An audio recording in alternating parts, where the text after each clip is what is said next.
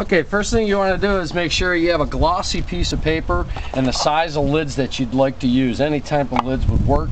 You want to go with your lightest colors first. So what I'm going to do is I'm going to start out with a white. I'm going to do one planet right over here. And you go from that to your darkest. It don't really matter how much paint you actually put on or what color, as long as you go from a lighter to a dark. Grab yourself a piece of newspaper. Glossy would also be good too. Just do a nice little swirl. And then you want to give some shadow to the side of the planet. So you just take a little bit of black, take your lid, set it right over. Repeat the same process for each planet that you decide to do. We're going to go with white again. Sort of stick in here. Go with a little bit of charcoal. To go with a little bit of fluorescent. Let's get a little bit of yellow in there. Don't worry about splatters. Take your paper, sort of in a swirl motion, pull it if you don't like it, rub it back over. If you like a little bit of dark in there, you can also throw a little bit of black, darken it up a bit. Pull it. Again, you want to repeat your shadow. Take your lid, place it over.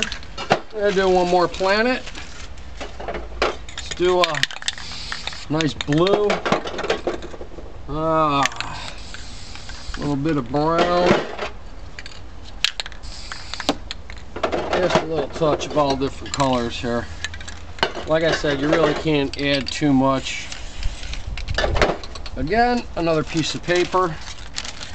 Take it, swirl it, ditch it. Again, take your black, create your shadow. Use a little bigger lid here. Yep, you got one. So we'll just cover that up. Now you just finish the whole thing off in black. All around. You can leave a little bit of white, don't matter.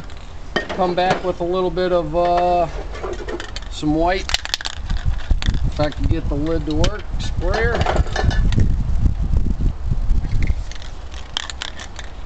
Don't look like it's gonna work for the white. Here we go. Take some white. Can take a little bit of burgundy. And a little bit of yellow. La yellow. Where's my yellow? Where's the fine fella? Lost my yellow. Alright.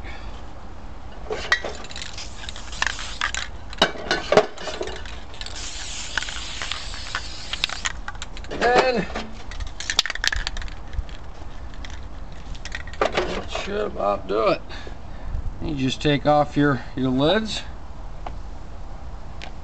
and bam, you got it. And that's how easy it is.